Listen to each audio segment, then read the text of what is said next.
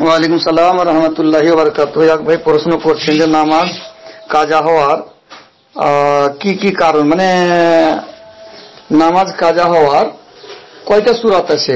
কোন সুরাতে নামাজ কাজা হতে পারে? নামাজ কাজা হওয়ার দুটাই সুরাত আছে। এক তো নিন্দে নিন্দ চলে গেছেন, জানতে পারলেন না, নামাজ কাজা হয়ে গেল।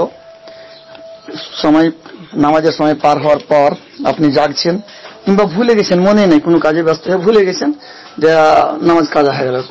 এই সম্পর্কে সহি হাদিস আছে। সন্না আবু দাউদের অন্যান্য হাদিসের কিতাবে মান্না সালাত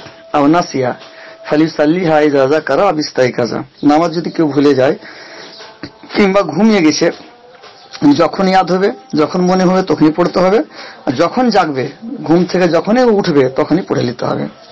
এই দুটা সুরাত বাদ দেওয়া কোনো সুরাতে নামাজ কাজা হওয়ার কোনো সুরাতে নেই আর। নামাজ কাজা করাই